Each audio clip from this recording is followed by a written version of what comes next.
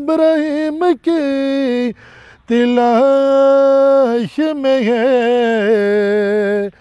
سنم کا دا ہے جہاں لا الہ الا اللہ۔ ہو لا الہ الا اللہ۔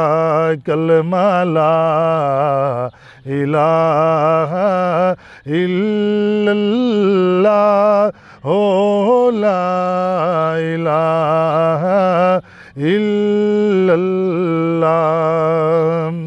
اور جسے نصیب نہیں حب اہل بیت رسول جسے نصیب نہیں حب. اہل بے رسول اسے نصیب کہاں لا الہ إلا اللہ ہو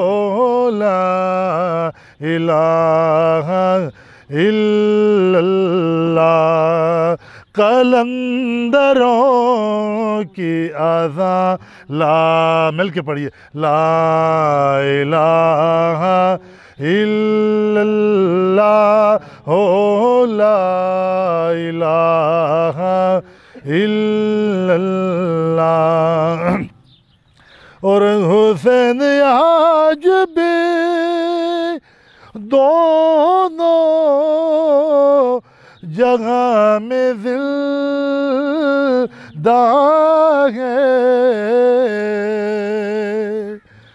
حسین آج بھی دونوں جگہ میں زندہ ہے۔ مرا یزید بچا لا الہ الا اللہ ہو لا الہ الا اللہ، کلمہ لا الہ الا اللہ ہو لا الہ اللہ لا الہ کے پڑھنے والے، لا الہ سے پوچھ لے۔ اس کلمے کو عام کرنے کے لیے ہمارے آقا علیہ الصلوۃ والسلام طائف کی گلیوں میں جاتے رہے۔ اور الحمدللہ، اور اس کلمے کی سربلندی کے لیے حضرت امام حسین نے اپنا کنبہ کٹا دیا۔ اور اپنا خاندان لٹا دیا اور شعر فرماتا ہے، لا الہ کے پڑھنے والے، لا الہ سے پوچھ لے۔ لا الہ کی تہ کے نیچے خون ہے شبیر کا۔ کلمے کی بنیادوں کے اندر حضرت مولا حسین کا خون شامل ہے۔ دیتے نصر حسین تو پڑھتا نماز کون؟ اگر مولا حسین سر کی قربانی عطا نہ فرماتے، آج گھر گھر میں یزید ہوتا، نبی کی سنت عیاں نہ ہوتی، خدا کے گھر میں اذان نہ ہوتی۔ اسی لیے شاعر فرماتا ہے، لا الہ کے پڑھنے والے لا الہ سے پوچھ لے۔ لا الہ کی تہ کے نیچے خون ہے شبیر کا۔ لا الہ تو پڑھ لیا، اب لے مزہ تاثیر کا لا الہ تو بچ گیا، گھر لٹ گیا شبیر کا۔